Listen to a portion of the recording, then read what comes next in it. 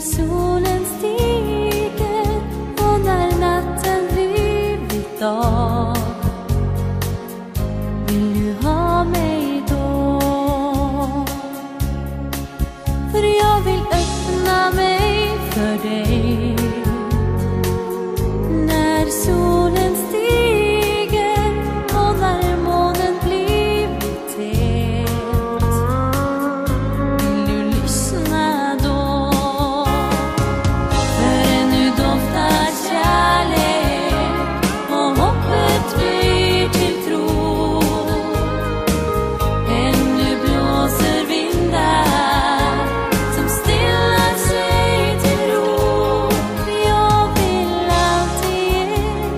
tid.